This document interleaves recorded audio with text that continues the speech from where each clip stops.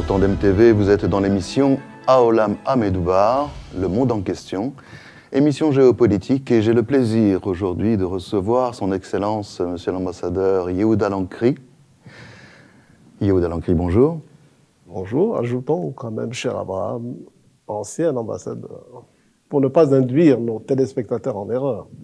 Alors, nous avons effectivement euh, l'ancien ambassadeur, mais toujours euh, ce diplomate euh, dans l'esprit et dans les faits, puisqu'il est effectivement à participer de près ou de loin à, à, des sujets qui concernent Israël et nous aurons l'occasion d'en parler ensemble. Mais avant, je voulais faire un petit cadeau à nos téléspectateurs et à son Excellence.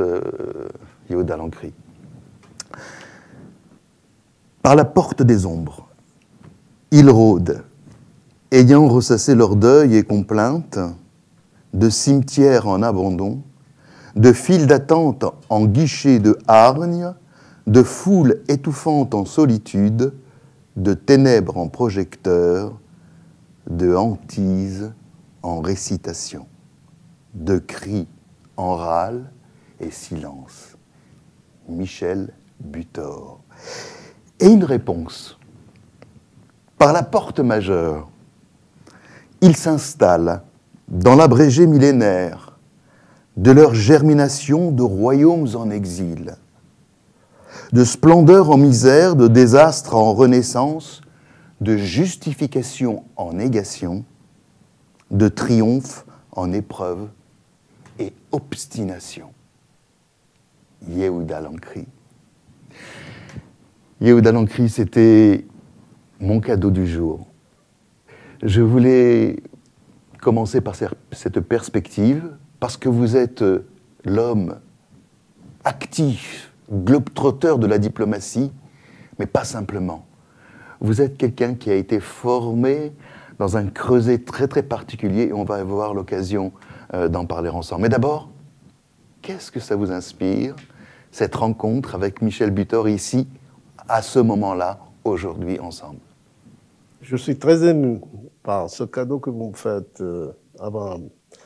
Euh, pour ne rien vous cacher, et sans donner dans une euh, sensibilité inconsidérable, j'ai ressenti un peu la chair de poule, comme un frissonnement à votre merveilleuse lecture de ce poème qui a été dédié euh, à Jérusalem pour les 3000 ans de Jérusalem. C'est un ouvrage dont le titre est Jérusalem, trêves et rêves, et auquel ont collaboré Michel Butor, moi-même, avec des poèmes et des réponses à ces poèmes, et entre nous deux, un artiste niçois qui nous a quittés aussi, Henri Macaroni, euh, qui était le compagnon de Michel Butor dans beaucoup d'aventures poético-littéraires.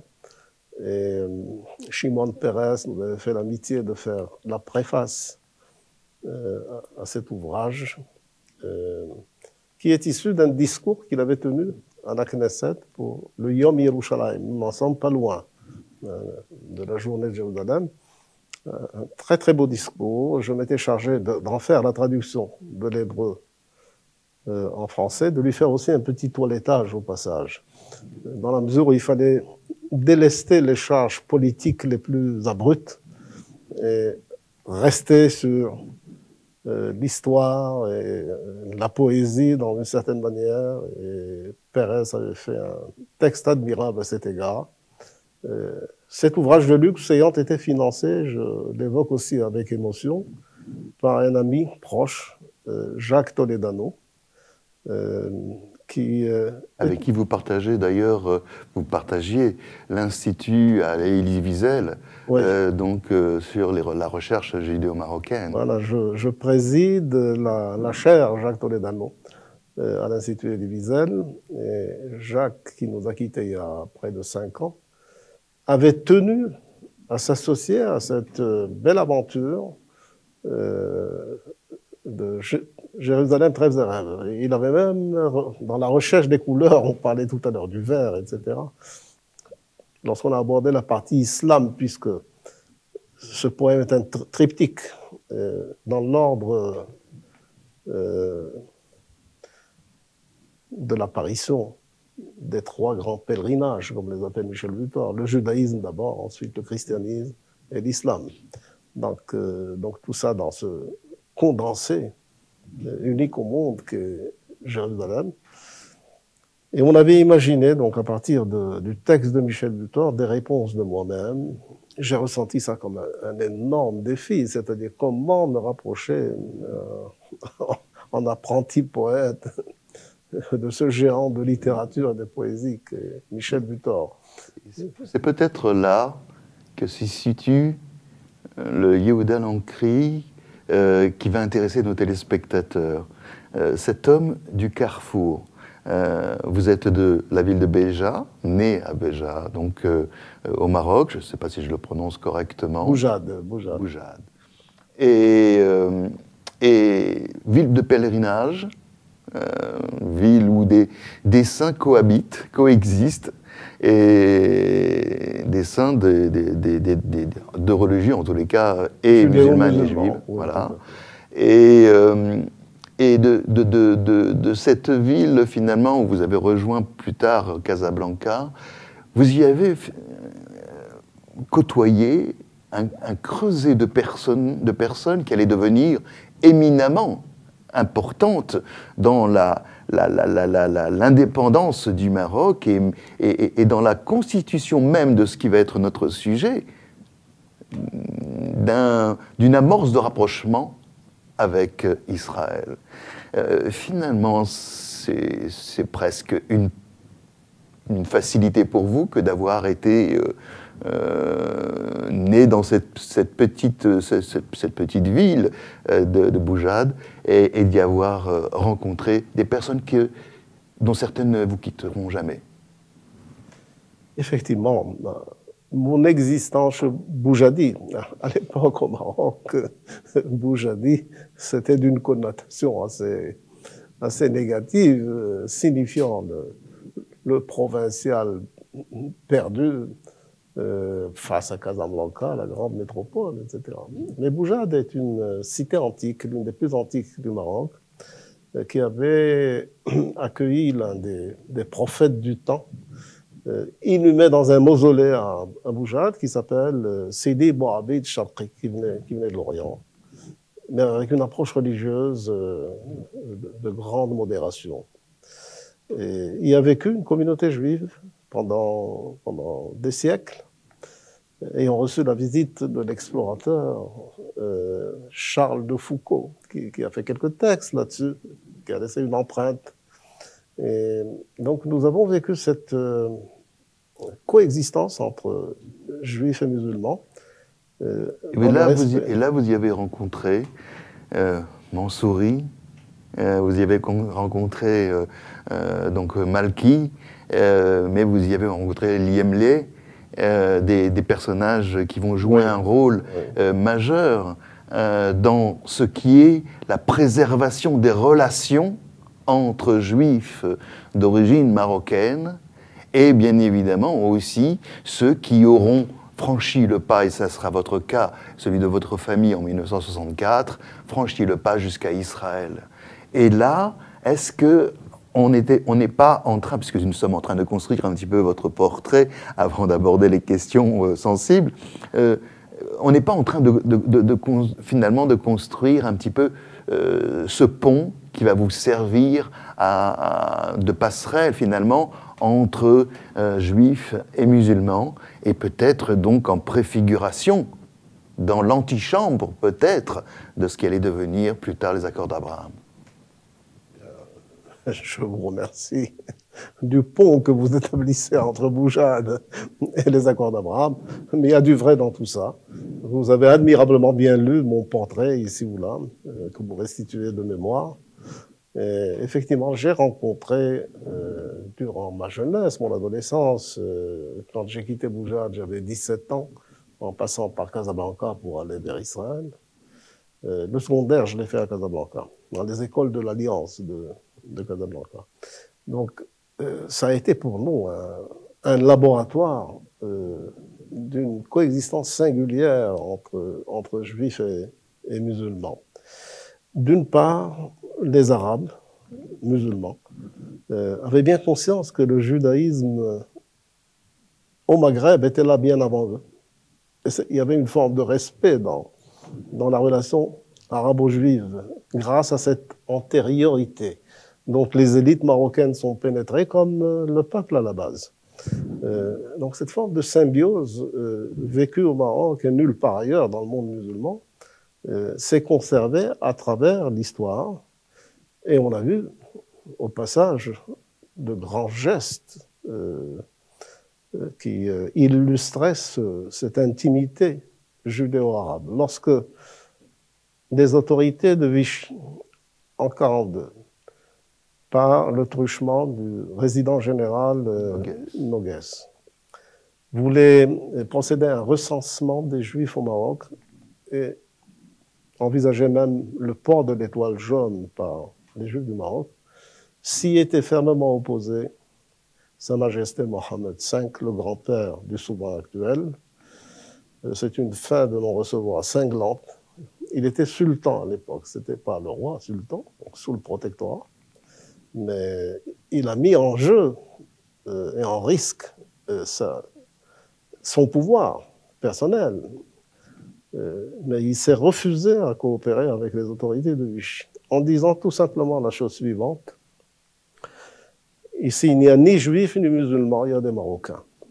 Donc c'est au nom de cette couverture suprême qu'est la marocanité que l'égalité du statut était ainsi signifié au résident général. Et on peut, pardon de vous interrompre, mais on peut ici sentir s'amorcer le fait que euh, on puisse retrouver à des postes aussi, on parlait donc de, euh, de et de, de Mansourim, de Malki, mais on pourrait parler aussi bien sûr de Cherkaoui, euh, euh, mais on pourrait aussi parler de tous ces juifs euh, qui instruit euh, le, plus généralement par l'alliance, euh, finalement vont accéder à des postes pas simplement sensibles, mais à des postes de comment dirais-je, de, construction finalement du futur État indépendant marocain, du royaume indépendant marocain. Et là, une pensée, une pensée pour, je pourrais les jeter pêle-mêle, mais mais une Soltin, qui était à Nice, par exemple. Mais je pensais à Robert Assaraf, Robert Assaraf. Avec le CRJM, euh, Centre de recherche sur les Juifs du Maroc, qui a tant fait pour des bourses, des doctorats euh, euh, sur le, le, le, patrimoine du judaïsme. Recherche, oui, mais aussi des, des, gens un petit peu moins connus, mais connus au Maroc, Simon, Simon Lévy, dont son, son, son, son combat jusqu'à sa mort en 2011 euh, a été euh, celui de, de, la préservation à Essaouira. Mais on lui doit, à Simon Lévy, euh, le musée du judaïsme marocain à Casablanca. Imaginez-vous que dans l'espace arabo-musulman, vous ne trouverez pas chose pareille. Ça n'est qu'au Maroc que ça arrive. De là la singularité marocaine. Euh, il y a aussi le, chez André Azoulay ça devient la Maison de la Mémoire, une institution extraordinaire. Bait d'Akira. Bait d'Akira, tout à fait. Mais vous nommiez ici ou là des personnalités émanant de Boujad. Bon, je, considère qu'il y a un génie du lieu que l'on doit. Un génie du lieu, c'est un titre de Michel Vuitton, que l'on doit à, ce saint patron de la ville, euh, Sidi Mohamed Chakri, euh, qui fait que Boujad aura rayonné pendant, pendant des siècles depuis, euh, depuis sa disparition. Et ont émergé de Boujad quelques personnalités.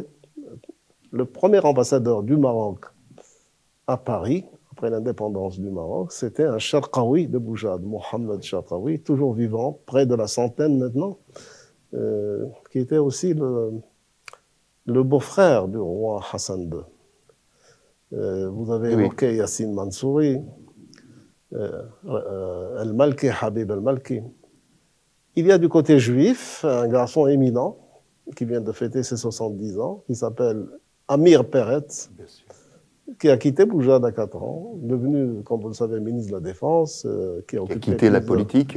A occupé plusieurs postes ministériels, actuellement président de, des industries aéronautiques en Israël, euh, qui, a signé récemment un, mémoire d'entente avec, euh, le Maroc. alors Boujad est effectivement quelque chose d'assez extraordinaire, même au regard des Marocains eux-mêmes. Euh, et c'est toujours avec une grande émotion que je, je m'y réfère. Euh, et que vous vous rendez d'ailleurs aussi régulièrement donc au Maroc euh, pour finalement être, parce qu'il y a aussi dans votre famille quelqu'un qui vous est cher, avec un prénom Baba. Oui, oui, tout à fait. Alors Boujad a aussi ses saints juifs. mon grand-père qui s'appelait Baba Hedou, Yehuda Zehadou, euh, était considéré comme, comme un saint, avec une aura très particulière. Et donc, venir à Boujad, c'est retrouver nos ancêtres. Nous avons le cimetière de Boujad, euh, qui existe toujours, qui est entretenu par le dernier des Mohicans, un dernier Boujadi qui habite Casablanca et qui vient de temps en temps euh, pour faire cette mission sacrée.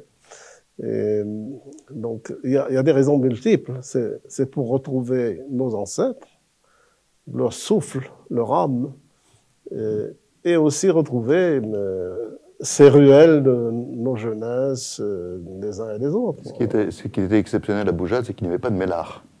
Euh, si, il y en avait un quand même. Ah, il y en avait un quand mais même. Euh, ouvert, sur, oui. ouvert sur la place Où tout le monde vivait et coexistait ensemble, hein, euh, juifs et musulmans.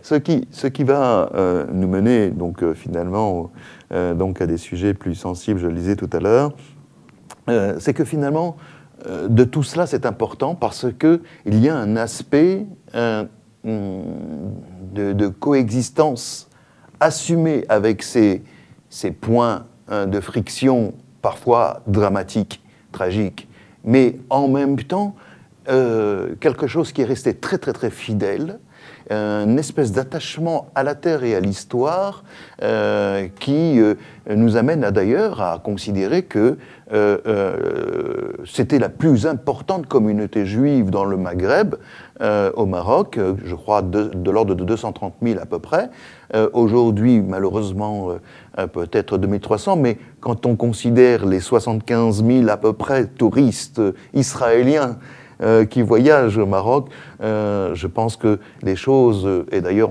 on, aura l'occasion d'en parler tout à l'heure, mais avec des Steve Wana par exemple, il y a des choses qui évoluent pour que le, business, les échanges, la coopération, aujourd'hui on aura l'occasion de parler tout à l'heure aussi de coopération très très très précise, très pointue, euh, mais finalement, euh, tout cela fait que euh, malgré tout cela, que ce soit au Canada, que ce soit à New York, que ce soit en France ou que ce soit en Israël même, où on a chanté il n'y a pas très longtemps, donc gloire, patrie et fidélité au roi, eh bien finalement, il y a ce lien qui reste presque indissoluble. C'est un attachement insécable. On remonte l'histoire pour retrouver l'acte salvateur de Sa Majesté Mohammed V par rapport à la machine de mort nazie.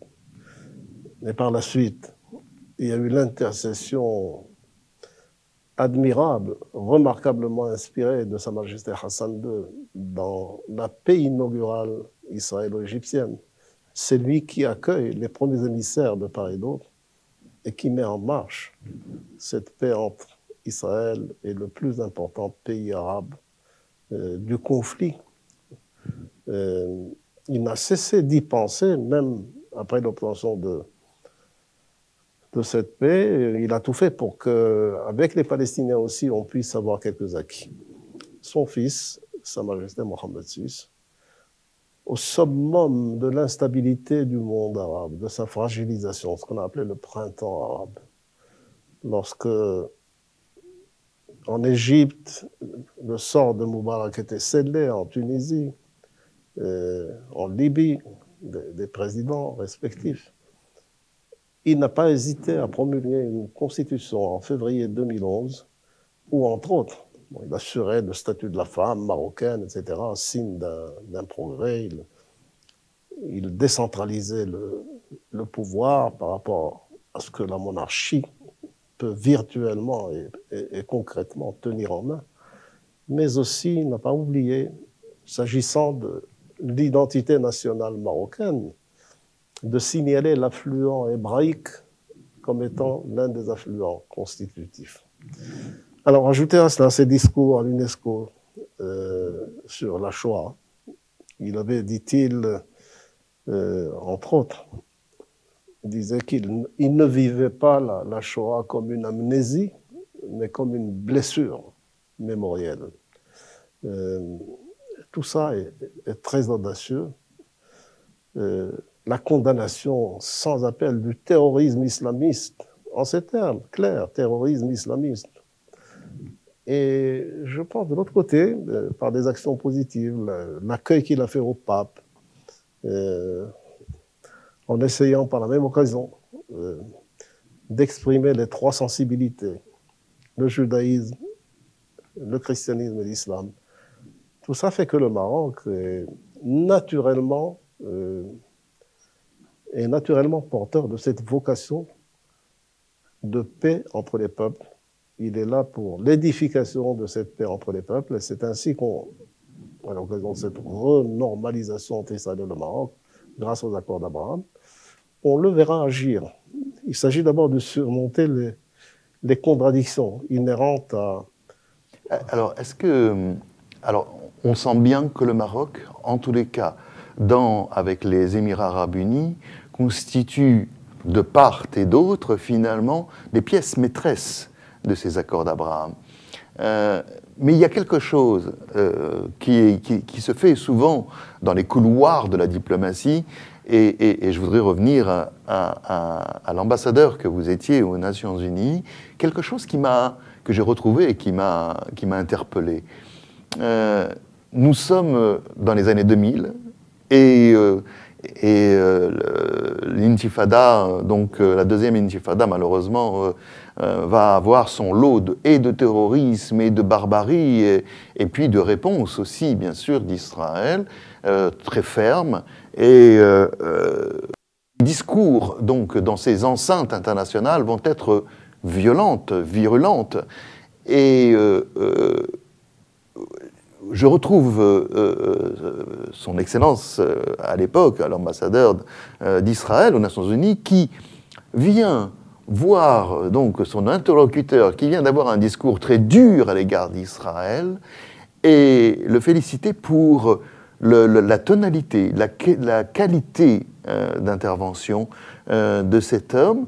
Euh, et, finalement, la réponse est absolument exceptionnelle et en dit long peut-être sur ce qui ne se voit pas, mais sur ce, qui est nécessaire d'être fait pour que la diplomatie puisse finalement un jour être une réponse à la guerre. Cette réponse, alors, avant d'aller sur la réponse, j'ajouterais, quant à l'attachement de la communauté juive marocaine en Israël, à l'endroit du Maroc, elle est elle aussi singulière. On ne retrouve pas dans les dizaines d'ethnies euh, vivantes en Israël un attachement aussi profond, aussi constant, aussi euh, régénérateur, une transmission d'une génération à l'autre euh, de ce vécu marocain entre juifs et musulmans. Euh, et là, je reviens sur ce que vous disiez tout à l'heure. Effectivement, l'intifada de septembre 2000 euh, signale une rupture violente par rapport à la dynamique qui s'est instaurée depuis les accords d'Oslo, que je considère comme un tournant euh, capital et déterminant dans la relation euh, israélo-palestinienne, en dépit des immenses difficultés et contradictions qui euh, euh, entravent ce processus. Mais le résultat est là. On a quand même une autorité palestinienne, avec un président palestinien, euh, un parlement, une assemblée nationale palestinienne, une police palestinienne. Par rapport à ce qui prévalait avant les accords d'Oslo, c'est un changement considérable. Je regrette beaucoup qu'on n'ait pas pu avancer, mais j'espère qu'on trouvera le moyen de le faire un jour, notamment dans l'attente d'une intercession de Sa Majesté Mohamed VI, dans l'héritage, dans le sillage de ses glorieux ancêtres. Donc, nous arrivons à cette époque de octobre 2000, où l'intifada fait rage, avec une convocation d'urgence de l'Assemblée nationale. C'est le lieu euh, et le cas où Israël est mis au, banc des nations. On était très isolés à ce moment-là. Très isolés. Donc je sentais que même du côté de ces deux pays qui, euh, États membres, l'Égypte et la Jordanie, qui entretiennent des relations de paix avec Israël, qu'il y avait une forme d'éloignement physique et, émotionnel. Ça ne passait plus. Et je n'ai retrouvé que ce grand ambassadeur marocain, Ahmed Snoussi, siégeant avec sa délégation que je viens voir, et, pris dans cette tourmente et, comment dirais-je, une forme de petit désarroi parce que je m'attendais à, à, une avalanche. Je lui ai embrassé le front et me dit, Ouda, rejoins ton banc, ne te fais pas de soucis. Je vais dire certaines choses, mais elles ne seront pas trop hostiles envers Israël.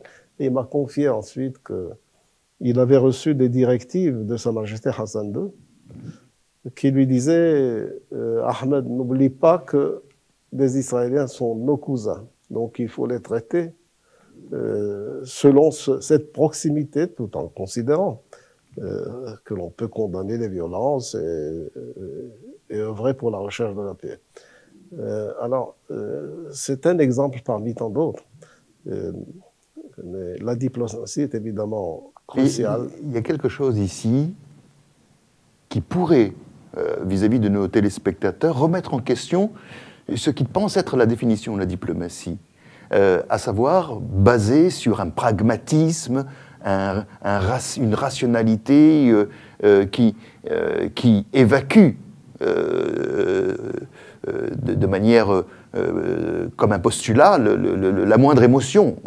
Voilà, il s'agit d'intérêt des États, et donc euh, l'émotion n'a pas cours. Et, finalement, là, vous démontrez tout à fait le contraire. La connaissance de l'autre, l'éducation reçue et le caractère très singulier des, relations euh, judéo-marocaines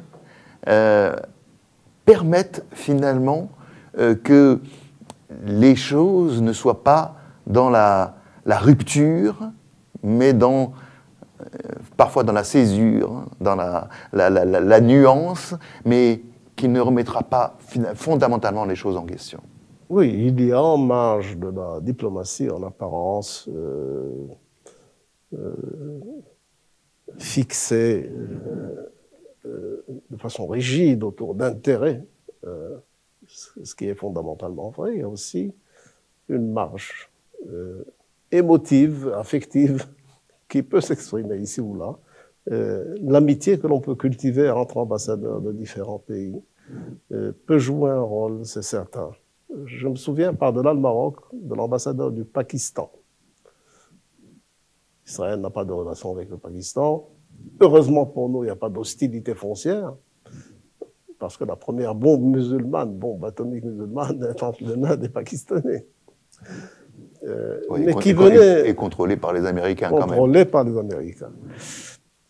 Est venu me demander notre soutien pour, dans une élection classique au sein de l'Assemblée générale, pour l'un des candidats euh, dans l'un des quelconques tribunaux de, de la justice onusienne.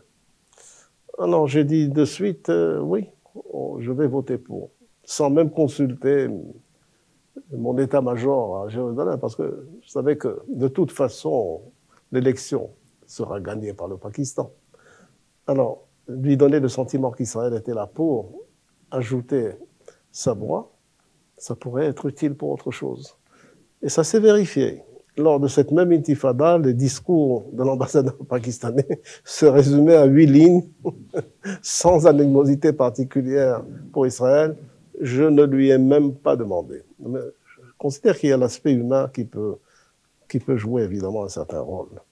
Euh, avec l'ambassadeur égyptien, Ahmed Aboulreit aussi avait des relations proches, euh, quelquefois conflictuelles, mais, assez proche. Alors, à, l'aune de l'actualité, euh, certains se sont montrés surpris après donc, les échafourées sur l'esplanade des mosquées, le mont du Temple, de la parole dure de, Sa Majesté Mohamed VI, euh, et de la responsabilité d'Israël, euh, comme telle, euh, et qui parle de colonisation.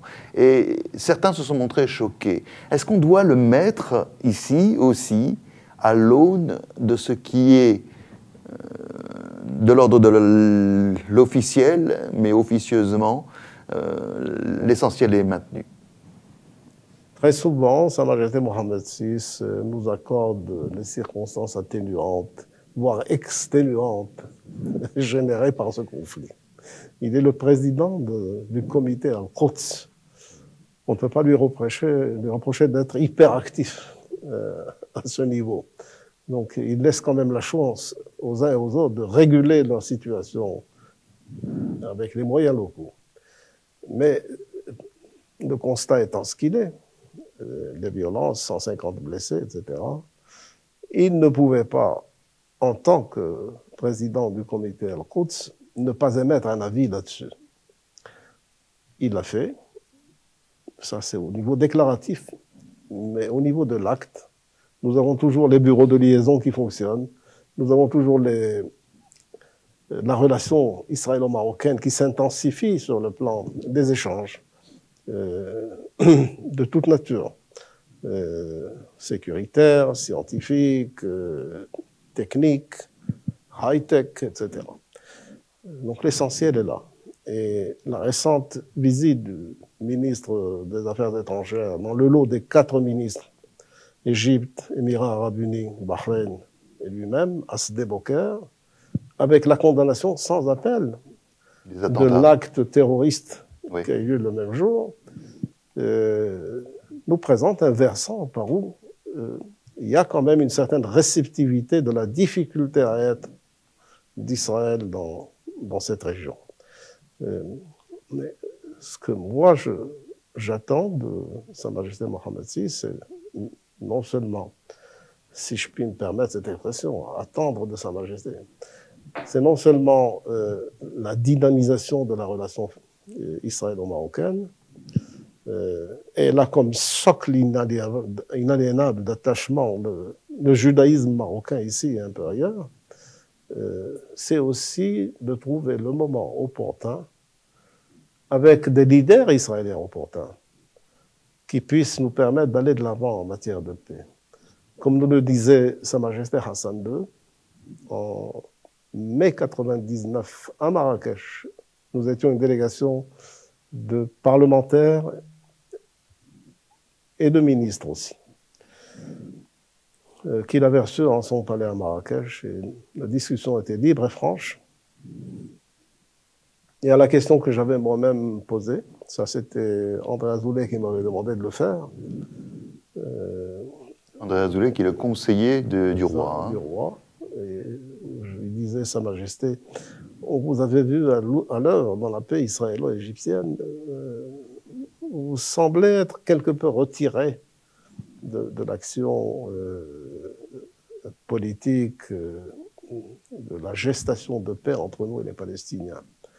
Et il m'avait répondu à question audacieuse, je proposerai une réponse franche. Elle était la suivante.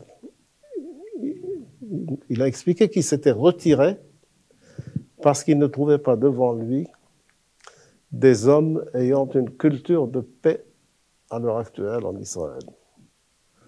Qu'est-ce qu'il entendait par culture de paix?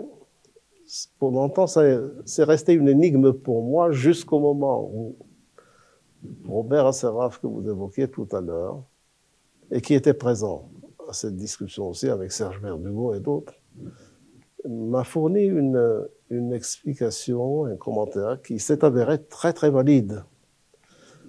Alors, il m'a dit que euh, pour lui, pour Sa Majesté, avoir une culture politique, c'était comme Ariel Sharon, il avait évoqué Sharon, qui n'était pas dans la course. Ceux qui étaient dans la course étaient Barak d'une part, Netanyahu d'une part.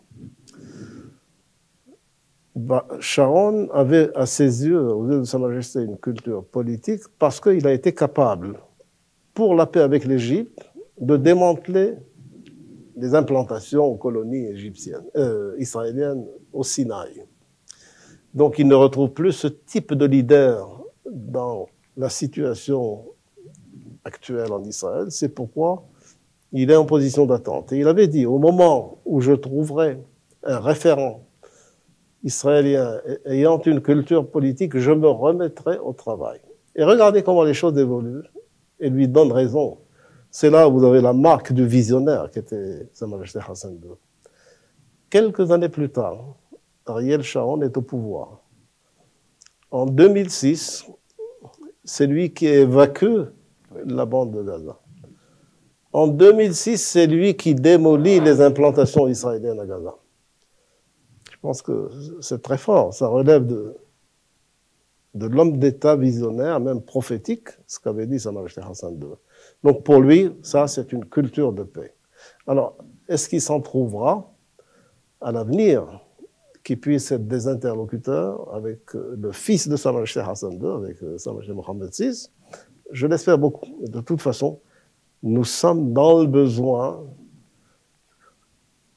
Je ne suis pas pour la paix maintenant, mais je suis pour la paix comme action permanente dans le quotidien israélien. Il y a la sécurité, ce qu'on assume, et il y a aussi le besoin de faire la paix avec nos voisins palestiniens. Il y a deux choses qui, en termes géopolitiques, finalement, euh, sont rassurantes. L'une est structurelle et l'autre est plus euh, affleurer l'actualité. Euh, on a effectivement aujourd'hui, euh, si on considère la, croissance des relations économiques, mais pas simplement, de, de commerciales entre le Maroc et Israël, euh, c'est parmi nos premiers partenaires, finalement. Je parle en tant que pays, pas en tant que quantité, puisque euh, même si aujourd'hui on parle des Émirats arabes unis, euh, ils ne sont pas sur tous les postes. Le Maroc, peut-être de parce que j'allais dire de structurel, et là je, fais référence à quelque chose qui est absolument inouï dans le monde arabe, c'est l'introduction dans les manuels scolaires euh, de, cette, reconnaissance de l'histoire, de l'influence hébraïque dans le constitutif justement marocain, dans cette marocanité euh, euh, dont on fait référence souvent quand on étudie le Maroc. Et, donc il y a quelque chose ici dans ces relations finalement exponentielles qui touchent à des domaines très sensible. Vous parliez du high-tech, mais le high-tech militaire, c'est autre chose. Euh, donc là, on touche à quelque chose de très sensible. Et d'ailleurs, dans la réunion que, vous, évoquiez tout à l'heure, il y avait aussi le ministre de la Défense, Benny Gantz, qui était présent. Euh, et, on sent bien qu'il y a quelque chose ici.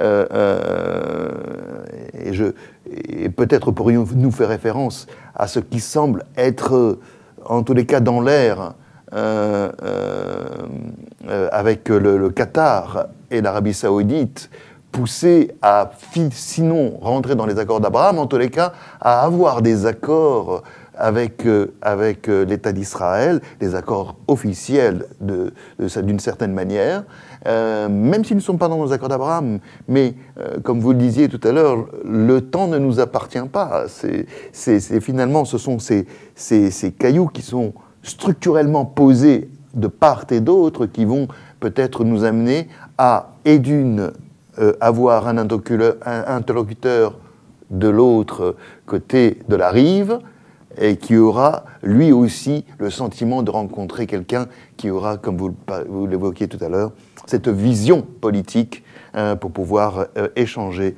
et, euh, et créer ce pont. Certainement, comme vous le soulignez, la strate structurelle euh, entre le Maroc et Israël existe grâce euh, à la présence d'une communauté juive marocaine euh, fortement attaché et engagé envers le Maroc, à l'existence d'une communauté juive au Maroc. Elle compte 2500 âmes à peu près, mais elle est là. elle est détentrice d'une histoire fabuleuse. Et, donc, sur le plan structurel, c'est ce qui explique cette vocation au rapprochement entre Israël et le Maroc, un rapprochement qui a été déjà entamé en 1994 par Sa Majesté Hassan II au lendemain des accords d'Oslo, qui ont constitué ce tournant capital dans la région israélo-palestinienne, mais avec une partie euh, du monde arabe. Donc les accords d'Abraham sont le, prolongement en différé de, cette phase. Je suis heureux que le successeur de Salah Hassan II y participe euh, activement. Et euh, la prise de conscience généralisée dans notre région, vous évoquez l'Arabie saoudite, le Qatar, qui peut-être tape aux portes de ces accords d'Abraham et souhaite trouver l'occasion euh, idoine pour y pénétrer. Elle émane évidemment d'une communauté d'intérêts qui, euh, qui a pour nom l'irrédentisme iranien. La menace iranienne euh, qui pèse sur euh, les régimes que nous venons d'évoquer et la conscience qu'Israël est peut-être la seule puissance régionale apte à contrecarrer la marche iranienne vers l'hégémonie euh, régionale font que on se rapproche. Vous ne diriez pas, euh,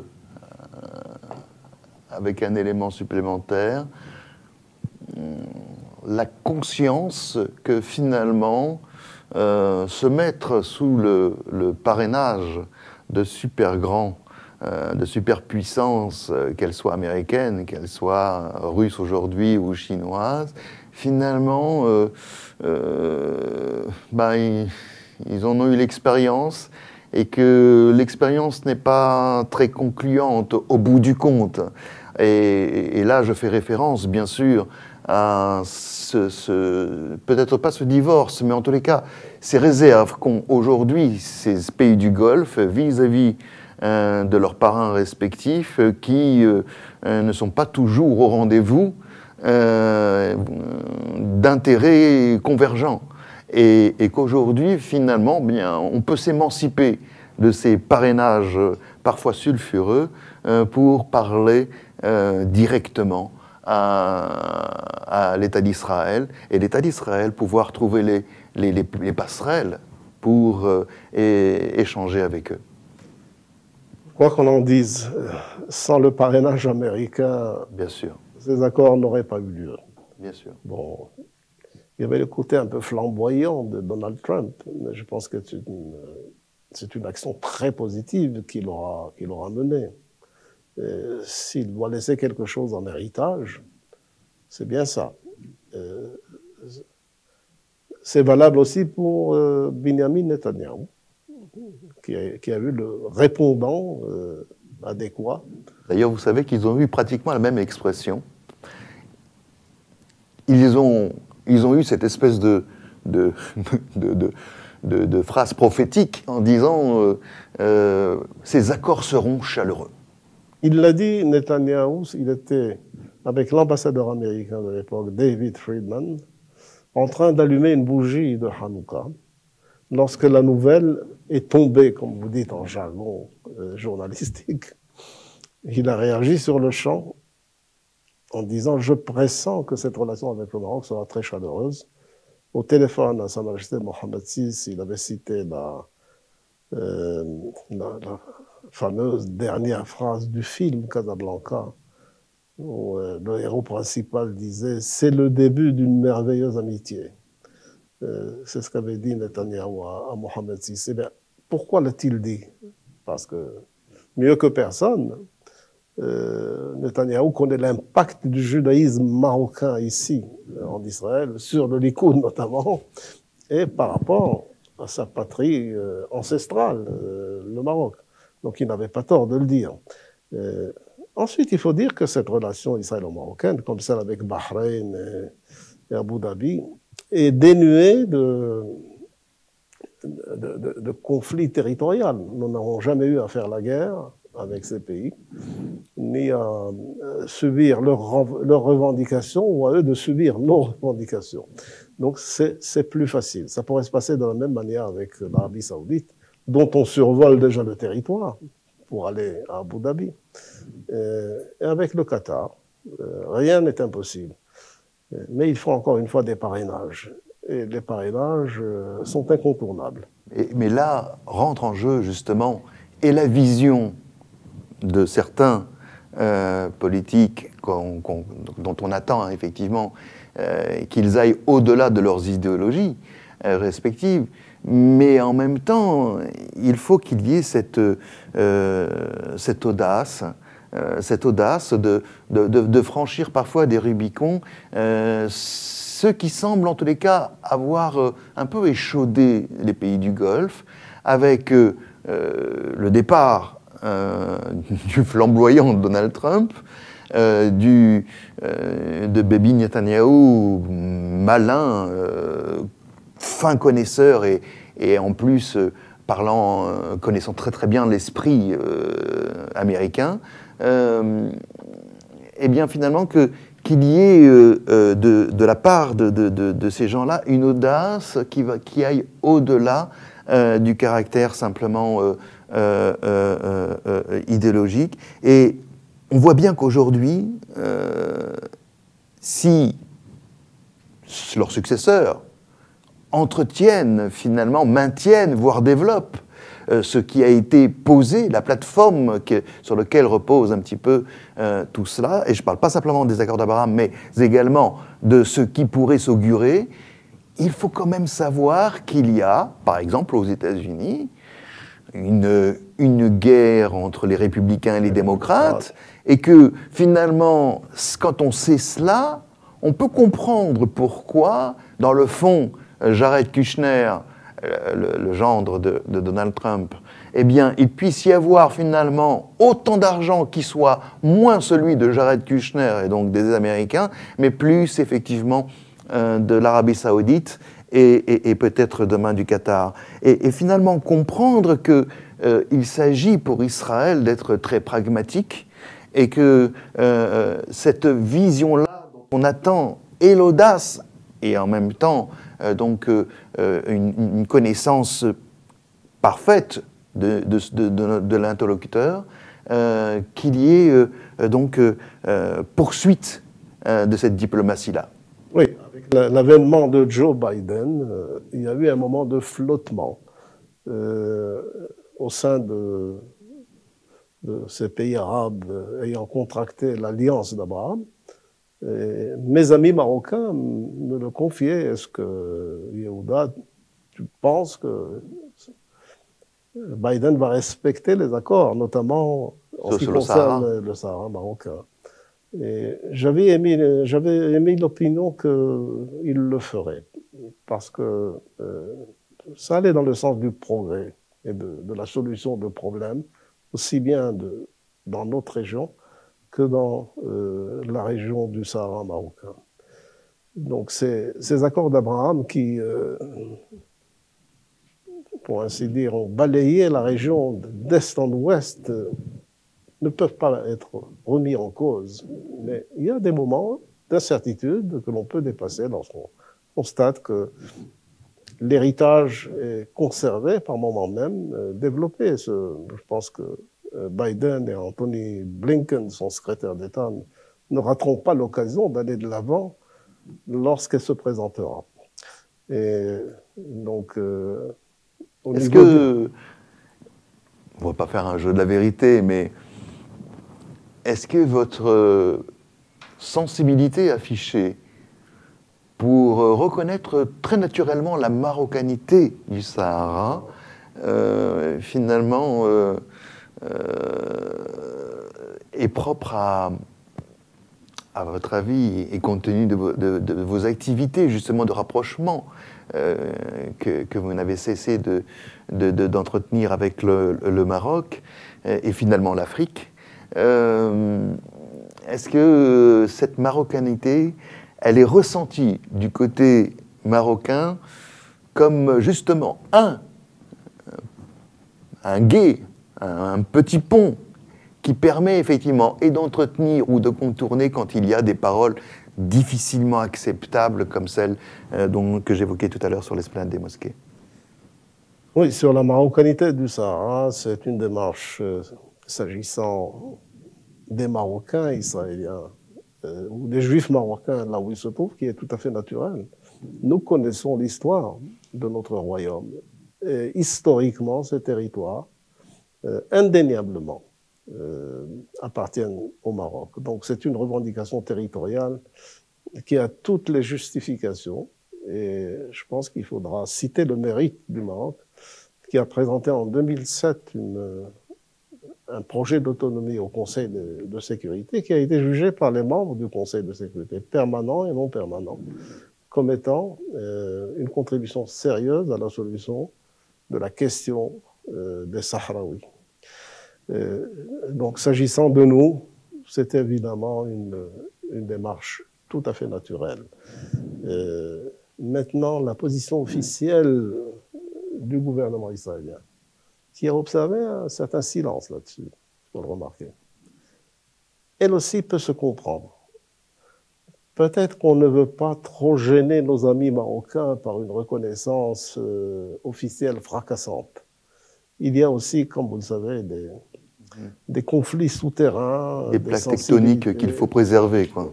Il faut préserver ces sensibilités et ne pas foncer la tête dans le mur. Euh, lorsque le moment viendra, comme l'avait dit l'ambassadeur Gobrin euh, à Rabat, euh, ça n'est pas un scénario inimaginable. Ça pourrait se faire d'ici peut-être un an, deux ans ou quelques temps, mais lorsque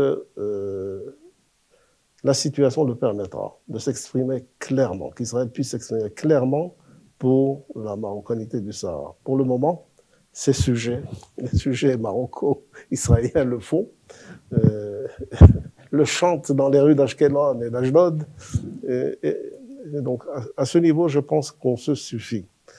Euh, alors, attendons que la situation évolue au bénéfice d'une percée de paix, d'une nouvelle dynamique. On ne peut pas rester dans cette impasse pour que d'autres pays comme l'Arabie saoudite ou le Qatar puissent juger la situation suffisamment euh, mûre pour adhérer à ces accords. Je disais avec des collègues géopolitologues que euh, nous étions aujourd'hui non plus dans un monde bipolaire, mais dans un monde multilatéral et euh, multipolaire.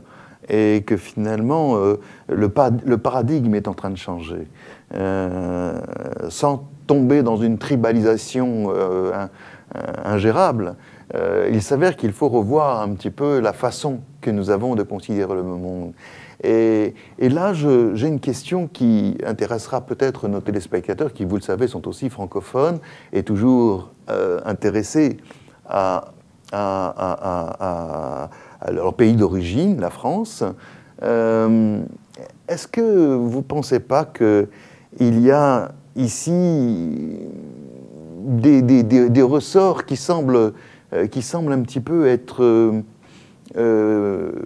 contre nature, ne pas aller dans le sens justement de cette dynamique, de nouveaux paradigmes, euh, quand euh, la France euh, continue à avoir cette attitude vis-à-vis de l'Algérie, plutôt, j'allais dire tolérante, mais au-delà de la tolérance parfois, et et que finalement, euh, vis-à-vis d'Israël, euh, la France n'est pas toujours, euh, elle présente souvent une volonté de vouloir organiser des grands événements, mais qu'au-delà de l'événementiel, derrière, il y a des condamnations presque récurrentes d'Israël.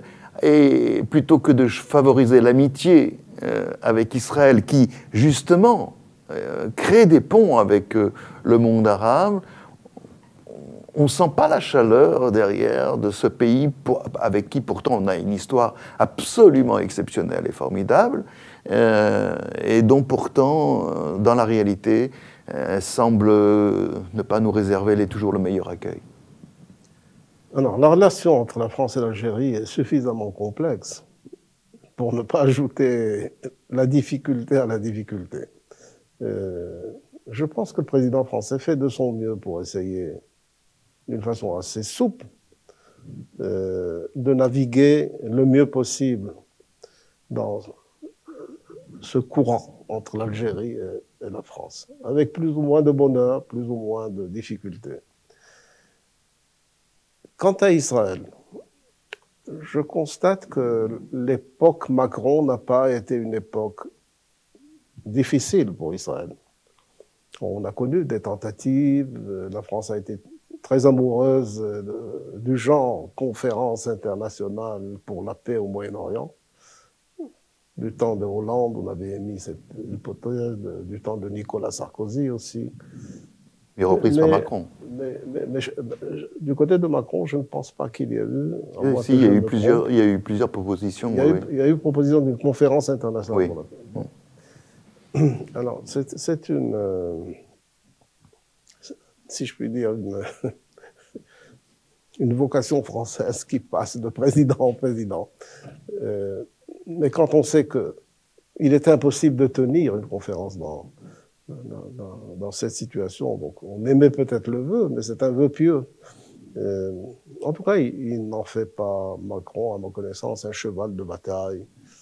Et il n'y a, a, pas eu de conséquences euh, fâcheuses pour Israël, que ce soit dans la relation bilatérale franco-israélienne ou dans les instances onusiennes, par exemple. Bon. Il y a une tradition française qui s'exprime euh, quant au euh,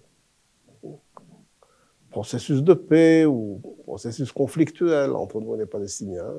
C'est toujours le même cap. Euh... En tous les cas, en conclusion,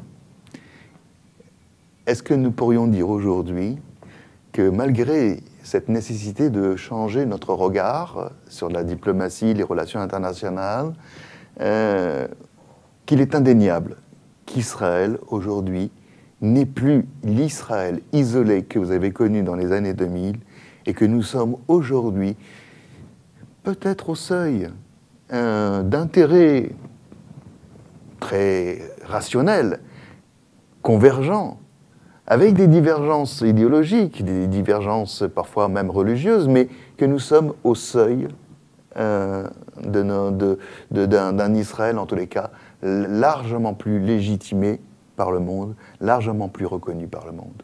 Très certainement, Israël euh, aura retrouvé un champ de reconnaissance internationale euh, autrement plus élargi que celui euh, qui prévalait il y a deux ou trois décennies. On retrouve l'Afrique, par exemple. Euh, maintenant, plus d'une quarantaine de pays africains sur les 54 du continent entretiennent des relations diplomatiques avec Israël. dans notre région, ça, ça change je pense que les perspectives s'annoncent comme des perspectives favorables. Mais encore faut-il les hâter et les encourager. Et, est-ce que les hâter et les encourager vers l'extérieur pourrait aussi en même temps répondre à ce qui semble être en ébullition, en ébullition à l'intérieur de notre propre pays euh, euh, vers la rue arabe? Comme le disait le prophète Isaïe, euh, il stipulait que la paix interne et la paix externe étaient intimement liées. Paix sur le lointain, paix sur le prochain, a dit l'Éternel, qui apportera sa thérapie. On ne peut avoir de thérapie dans la complétude que lorsque ces deux éléments euh, sont communicants et interdépendants.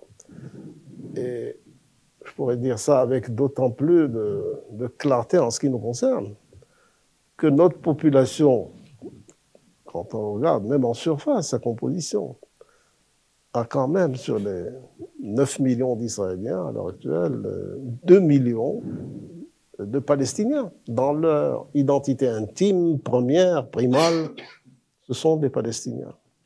Ils ne peuvent pas ne pas réagir par rapport à ce qui se fait avec ceux de l'extérieur. Euh, dans les besoins d'Israël en matière défensive, il y a des opérations qui se traduisent par la perte euh, de vie humaine du côté palestinien. Il y a des actes terroristes qui euh, ont un prix élevé en prix humain, en, vie humaine aussi, du côté israélien. Donc il y a un besoin de faire acte de réparation à l'intérieur et à l'extérieur. À l'intérieur, je pense qu'une politique sociale plus équilibrée, plus juste, plus de justice sociale à l'endroit des Palestiniens de l'intérieur, Israéliens euh, euh, dans leur citoyenneté, pourrait atténuer euh, le substrat conflictuel et la situation de contradiction flagrante où se trouvent ces Palestiniens de l'intérieur.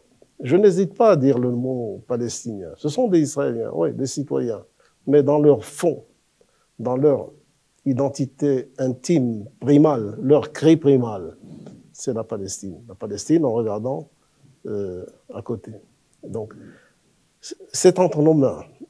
Une, politique mieux assumée en termes de justice sociale, dans le traitement des Arabes israéliens, je reviens maintenant à la dénomination classique, les Arabes israéliens, pourrait aider effectivement, d'abord à soulager leur, euh, difficulté à vivre existentielle, euh, leur névrose identitaire entre une appartenance en surface à Israël, une appartenance profonde à la Palestine d'un côté, et une avancée avec les Palestiniens de l'extérieur, de bonne foi, pour essayer de trouver une solution à cette question, dans l'intérêt vital d'Israël aussi. Qu'on ne peut pas tenir un peuple dans cette situation euh, très très longtemps. Il va falloir un jour, pour notre salut nous-mêmes, trancher et adopter une solution à deux États, l'un palestinien l'autre israélien. Pour revenir à la case départ du 29 novembre 1947, le plan de partition, nous avons pour habitude, nous Israéliens, d'évoquer la reconnaissance de l'ONU, hein, d'Israël par l'ONU le 29 novembre, mais on oublie qu'il y avait une deuxième partie. Qu'elle ne fut pas acceptée par le camp arabe, c'est peut-être la catastrophe du côté arabe. Mais euh, il y, y, a ça. Il faut revenir à cette logique de partition entre les deux peuples. En tous les cas, merci pour cette euh, interview d'un ambassadeur, d'un diplomate. Elle est partie, je rappelle, c'est une interview géopolitique, mais elle est partie de la géopoétique. Et j'emprunte ce terme à Bernard-Henri Lévy, euh, qu'il avait suggéré dans son merveilleux ouvrage, l'un de ses merveilleux ouvrages, euh, l'Empire et les cinq rois, qui explique aussi pas mal de choses. Ça a été écrit en 2018 sur ce qui se passe à l'heure actuelle et on le voit entre la Russie et l'Ukraine. On le voit bien d'ailleurs, un ami, euh, un ami grand maestro me disait que il était effaré que qu'on puisse, euh, pour des raisons géopolitiques, vouloir interdire Tchaïkovski ou interdire donc la visite d'une église orthodoxe ukrainienne et que finalement que la culture aussi, c'était une façon, c'était une arme euh, de destruction massive. Et, donc euh, oui, je souscris tout à fait. Et, je terminerai aussi euh, pour encourager nos téléspectateurs de Tandem TV d'aller lire ce livre sur d'André Chouraki, dont vous avez eu une plume absolument magnifique dans la préface. Euh, un livre qui nous amène à, nous, à réfléchir sur notre spiritualité, à réfléchir sur notre histoire, notre identité. Et finalement, on l'a vu durant toute cette interview, c'est peut-être de tout cela, plus notre expérience d'Israélien, de citoyen israélien, que se trouve peut-être l'ADN qui permettra aux uns et aux autres de se retrouver, en tous les cas, euh, dans une une paix des braves, et sinon, en tous les cas, dans une coexistence chaleureuse. C'est celle qui, est, qui, est, qui a transparu de vos, de vos propos concernant le Maroc. Et je vous remercie de, de, de cet entretien. Et je donne rendez-vous à tous nos téléspectateurs. Prochaine émission géopolitique. Aola Mamedoubar, le monde en question.